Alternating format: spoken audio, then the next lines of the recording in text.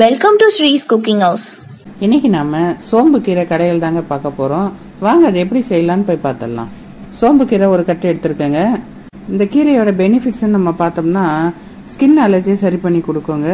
Fever வரட்டு இருமல் அதே மாதிரி சளி உடல்ல மற்றும் வந்து வயிறுல ஏதாவது பிரச்சனை இருந்தா அதையும் இந்த கீரை வந்து சரி பண்ணி கொடுக்குங்க. இந்த கீரையை பார்த்தீங்கன்னா பிரெக்னென்ட் லேடி கூட எடுக்கலாங்க இந்த கீரையை. கர்ப்பப்பையில இருக்க அழுக்கெல்லாம் எடுக்கிறதுக்கு யூஸ் ஆகுங்க இந்த கீரை. தாய்ப்பால் சுரக்கிறதுக்கும் அதிகமா சுரக்கிறதுக்கும் இந்த கீரை வந்து யூஸ் ஆகுங்க. இப்போ நம்ம ஒரு பேன் வச்சுக்கலாங்க. இதில் ஒரு கால் கப்பு துவரம் பருப்பு ஆட் பண்ணிடலாங்க. ரெண்டு டேபிள் ஸ்பூன் அளவுக்கு பைத்தம் பருப்பு ஆட் பண்ணிடலாங்க. இப்போ இது ரெண்டுத்தையும் சேர்த்து லைட்டாக வறுத்துருவோங்க. ரொம்ப வறுக்க வேணாங்க. கலர் மாறக்கூடாது. அந்த பருப்பு வாசனை வர வரைக்கும் வறுத்தா போதுங்க. இந்த அளவுக்கு வறுத்தா போதும். இப்போ பாருங்க நம்ம ஒரு குக்கர் எடுத்து அதில் ஆட் பண்ணிடலாங்க இதை. இப்போ நல்லா கழுவிட்டு நாம் குக்கரில் வச்சுருக்கோங்க. இப்போ பாருங்க சோம்பு கீரையை நல்லா பொடியாக கட் பண்ணி இதில் ஆட் பண்ணிடலாங்க.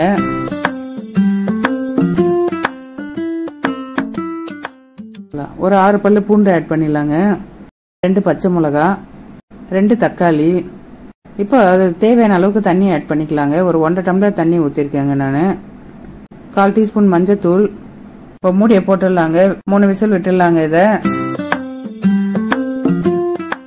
இப்போ பாருங்க நல்லா வெந்து வந்திருக்கு பாருங்க கீரை பருப்பு எல்லாமே.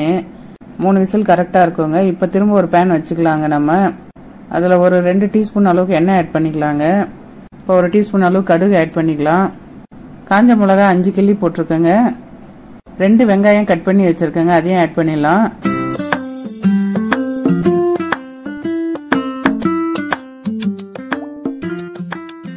இப்போ தேவையான அளவு உப்பு ஆட் பண்ணிடலாங்க. கீரையில் நான் உப்பு போடலங்க. இப்போ தான் உப்பு போடுறேன்.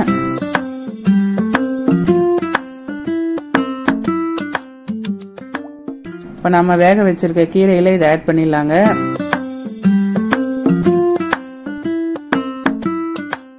திரும்ப நம்ம மூடி போட்டுடலாங்க. ஆனால் வெயிட் போட வேணாம். ஜஸ்ட் ஒரு அஞ்சு நிமிஷம் குக் ஆகட்டங்க. போதும்.